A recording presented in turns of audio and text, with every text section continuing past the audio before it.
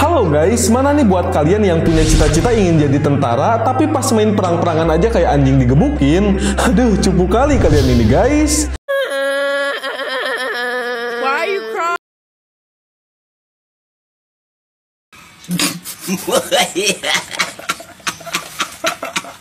A few moments later. Nah udah deh biar hidup kalian makin berwarna Mendingan kalian mainkan saja game yang akan kami bagikan kali ini Oke? Okay?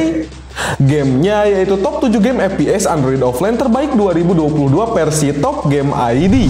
Nah guys, sebelum lanjut ke videonya, buat kalian yang belum subscribe channel Top Game ID, yuk guys klik subscribe dulu dan nyalakan notifikasi loncengnya juga, supaya kalian tidak ketinggalan setiap rekomendasi game yang akan kami bagikan seterusnya, oke? Okay? Nah udah deh, gak usah banyak bacot lagi, mendingan kita langsung masuk saja ke dalam gamenya. Tapi sebelum itu kita intro dulu ya guys, let's go!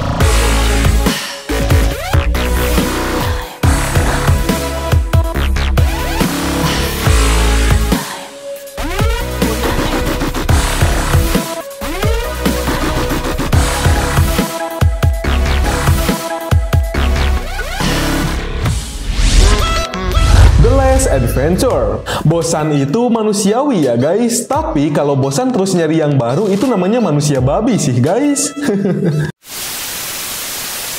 Saya lagi di rumah deh guys. Jangan lupa like, comment, and subscribe.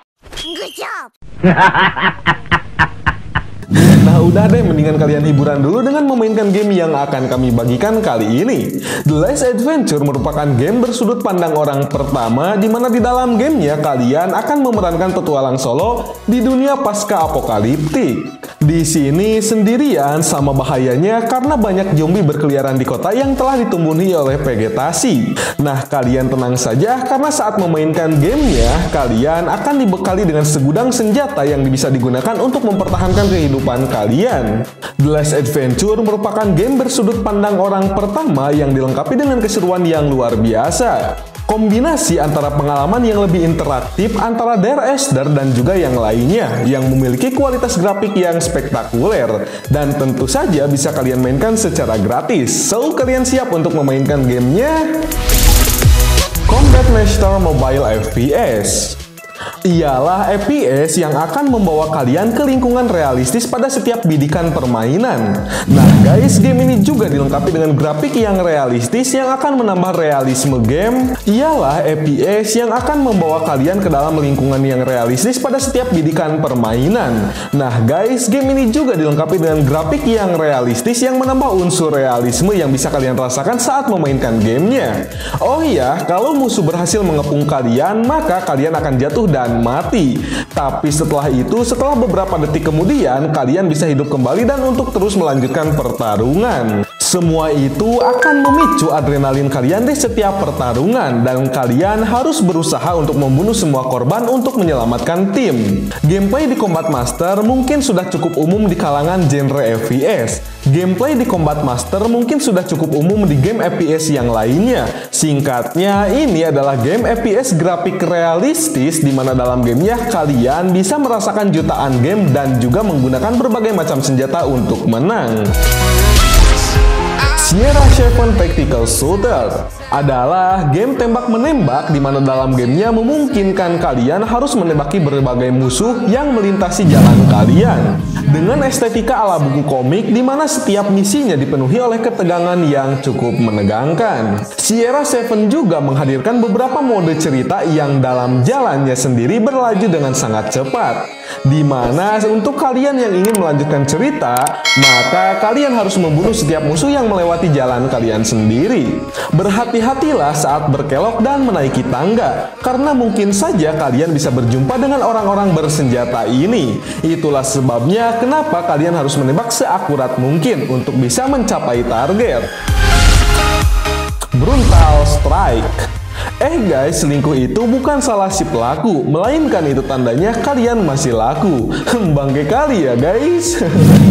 nah, game yang satu ini merupakan game aksi orang pertama di mana dalam gamenya mirip dengan game Counter Strike. Yaps, game ini memiliki suasana yang cukup mirip dan identik dengan game legendaris itu. Perbedaan utama di antara keduanya yaitu dalam game versi ini, kalian harus menemukan lebih banyak pertumpahan darah dan kekerasan, serta kalian juga akan menemukan mode permainan baru sebelum kalian memulai setiap rondenya. Kalian juga bisa menggunakan uang yang didapatkan di ronde sebelumnya untuk membeli senjata, granat, dan rompi anti peluru yang baru. Brutal Strike adalah salah satu alternatif game Counter Strike yang bisa kalian temukan di perangkat seluler tidak hanya menawarkan pengalaman sebuah permainan game yang setia pada versi originalnya, namun game yang satu ini memiliki grafis yang lebih baik. Serta ada juga beberapa mode permainan tambahan yang ada dalam game yang satu ini yang dipenuhi dengan pemain-pemain interaktif. So, kalian siap untuk memainkan gamenya? Battle Ops Battle Ops memiliki grafik tiga dimensi di mana dalam gamenya akan menenggelamkan kalian ke dalam aksi dalam game yang cukup seru ini. Dalam game ini juga terdapat berbagai macam mode bermain offline yang memungkinkan kalian untuk ikut dalam penyerangan yang seru dan menembaki setiap musuh yang melewati kalian. Fitur bagus lain dari Battle Ops adalah kendalinya yang intuitif. Cobalah gunakan berbagai macam senjata yang telah disediakan, seperti senjata, granat, dan berbagai macam lainnya. Kemudian, pertarungan baru dimulai dan semua itu bergantung pada kalian untuk memastikan bahwa pihak kalianlah yang akan memenangkan setiap pertarungannya. Modern Combat for Zero Horde merupakan game yang sangat keren di mana dalam gamenya dilengkapi dengan grafis yang setara game PC. Ya walaupun game ini cukup rilis sudah lama. Tapi game besutan game lob ini sangat seru terutama dengan story modenya yang cukup menantang. Sayangnya game yang satu ini berbayar ya guys, yakni senilai Rp109.000. Tapi kalau ditilik dari grafisnya yang luar biasa, menurut kami ya cukup relevan sih guys. Dan tentu saja tidak akan mengecewakan kalian pastinya, oke? Okay? Bright Memory Mobile.